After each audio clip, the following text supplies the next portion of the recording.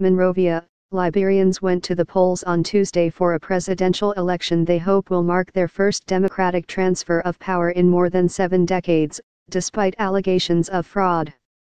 Former World Footballer of the Year George Weah is squaring up against Vice President Joseph Boakai, both of them promising to tackle poverty and corruption in a country where most citizens have no reliable electricity or clean drinking water they are bidding to succeed Ellen Johnson Sirleaf in a runoff vote delayed for more than a month after Boakai and another candidate alleged widespread fraud in October's first round vote, a challenge that the Supreme Court rejected this month.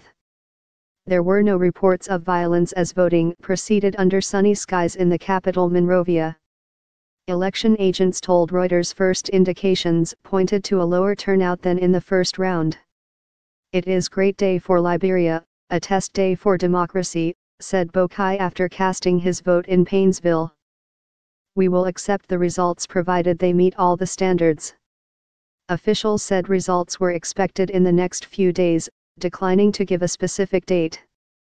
Johnson Sirleaf's 12-year rule cemented peace in the West African country after civil war ended in 2003, and brought in much-needed aid. But critics, including much of the country's youth, say her administration was marred by corruption and that she did little to raise most Liberians out of dire poverty. Liberia was also racked by the Ebola crisis, which killed thousands between 2014 and 2016, while a drop in iron ore prices since 2014 has dented export revenues. Weah, World Footballer of the Year in 1995, won with 38% in the first round versus Boakai's 29%. I voted George Weah because I believe that he will do better for me and my country. I want change, said Mayama Camara, a 32-year-old businesswoman, after casting her ballot in the capital. Marked improvements. Observers from the U.S. based National Democratic Institute said polling stations were better organized than in the first round.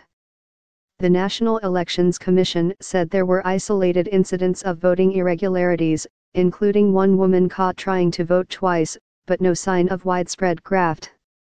So far the election process has been smooth and there are marked improvements on the October 10 poll, NEC said. Boakai has found it harder to convince voters that he will bring change, given that he worked alongside Johnson Sirleaf for 12 years. Weah, by contrast, has won the hearts of mostly young Liberians through his star performances for Europe's biggest football teams in the 1990s.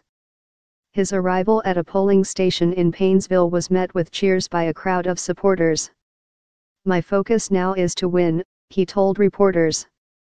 From there, I am going to get on the drawing board with my team and then well put a plan together to move our country forward. Some however are wary of Weah's lack of political experience, education and concrete policy. Boakai understands diplomacy, said MacArthur Newell Kerma, a school registrar in Paynesville. Weah is not experienced and doesn't know the workings of government.